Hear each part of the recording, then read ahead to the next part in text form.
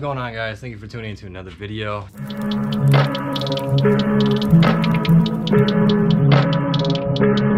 Today we will be installing this Jack Spania Racing clutch stopper. We received this as a gift from our homies Jesus and Billy from Speed Zone, so shout out to you guys once again. Thank you so much for treating us so good. You guys are the best. So if you guys need any parts, performance, audio, miscellaneous, clothing, anything, honestly, go check out Speed Zone Web because they got it all practically. So if they don't got it, they probably could get it for you. So if you look down here, we have a little assortment of tools and things that you want. If you guys know, with the TSXs and many Hondas, clutch pedal is notorious for cracking, breaking, and then, you know, messing with your engagement or not getting into gears. So look out for that if you guys have any engagement issues. This is Jack Spania Racing's little clutch stopper. It's super easy to install. All right, y'all. So some key points and information to why I'm installing this because if you have your engagement point overextended on your clutch, you could cause some damage to a lot of things, catastrophic things. If you overextend, it could overpressurize the system and it could put too much pressure on the diaphragm right here, which can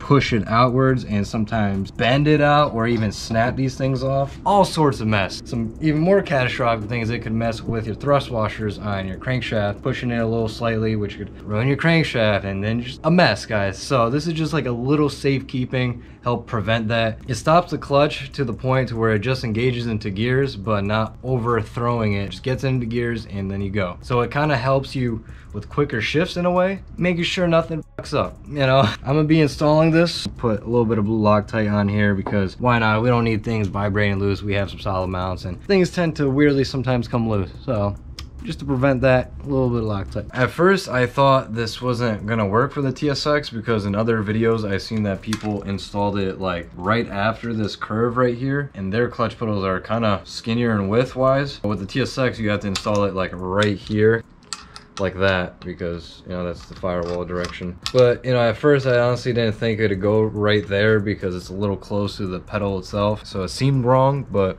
i guess for the tsx that's where it goes. So you guys know with me now you know you know we, we know together that we know. Let's get it. Here we have it installed on the clutch pedal. So at first, yeah, you could see that's like right at the pedal. So it kind of seemed wrong to me because everyone has it like right after this curve right here. So we're gonna see how this goes about. Yeah, just go with the flow. I'll get back to y'all soon. It isn't fully solid of like a backstop like this firewall area is. Normally I'm seeing like the videos of whatever it being installed right here and then the backing point hits right there, but for the TSX, since it has to be all the way down here, it just like, it's right there. So it's kind of inconsistent. Do a little tester feel and see how this goes. I got it installed, like I said, and I gave it a shot. If I don't fully like try to press it hard or whatever, you don't feel the mush, you feel like it kind of like backstopping.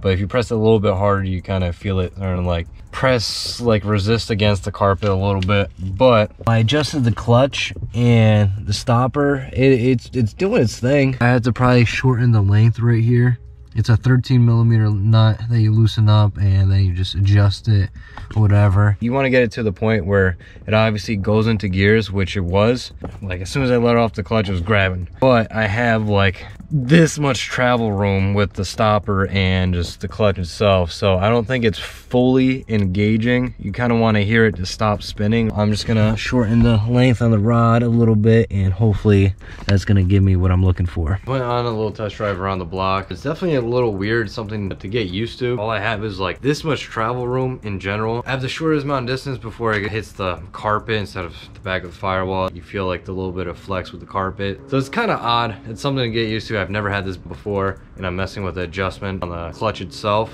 Um, but it seems to be fully engaging. I looked at it, the slave is like fully extending out. I mean, it's going into all gears pretty fine, grabbing. So yeah, it's just really weird having like this much travel room in general with the clutch. So we're gonna do more driving and testing. Stay tuned for that. Watch throughout this video, kind of see how it works. So yeah, stay tuned. I'm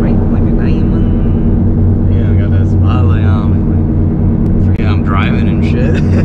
That's what it feels like it would do. Alrighty guys, so we are in the car, driving as you can tell. That was a cop.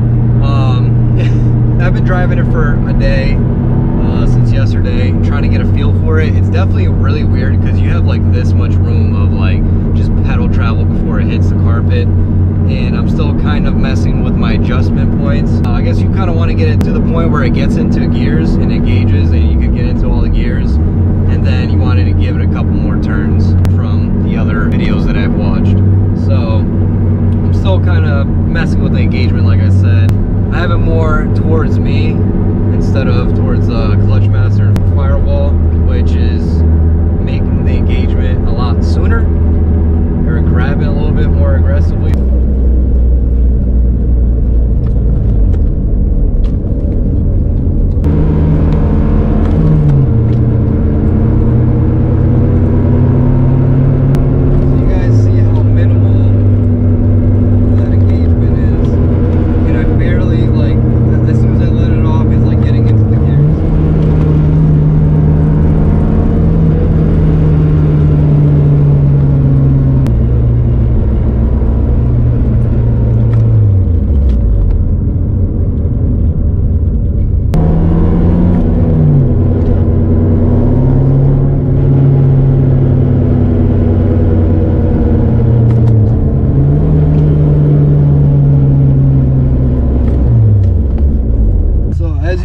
more aggressively. just how short the distance is like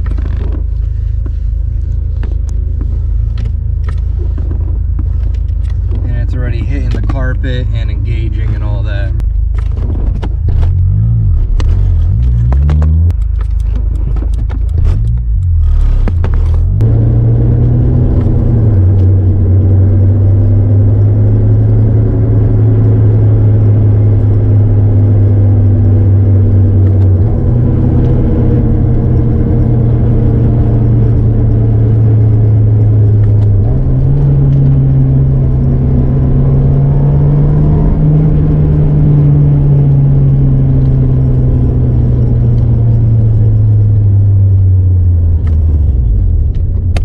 all right guys so we went on that ride real quick show you guys kind of how little the travel room really is with the clutch pedal and me just kind of still messing with the engagement. So all in all this clutch stopper is really meant for twin disc clutches and performance but mainly twin disc and i only have a comp stage 2 so it's not really like heavy performance clutch so it's not necessarily needed for me but it does help in the sense of not overextending your clutch system which you're able to do. So like i was saying if you have like a stock clutch or something something, it is really not needed, but it could be useful in a sense of like getting a little bit of quicker shifts and just not overextending your clutch system period. So if you guys want it you could go buy it. i think it's like 60 bucks or something but the homies at speed zone gifted it to me. I did want to try it and make a video and see if i like it or not. And it's definitely something you have to get used to because it is completely different of a feel. Not being able to press in your clutch completely it just gets it to the point where it gauges into gears and that's it so guys, as always, more videos to come. Shout out to you, Jesus and Billy at Speed Zone for gifting me this. More content to come.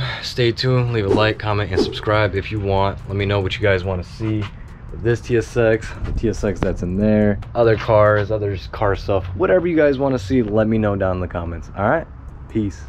I never take a day off, work around the clock, my engineer getting paid off. Rock like Ace up, like the weed and take off. So high, cannot see.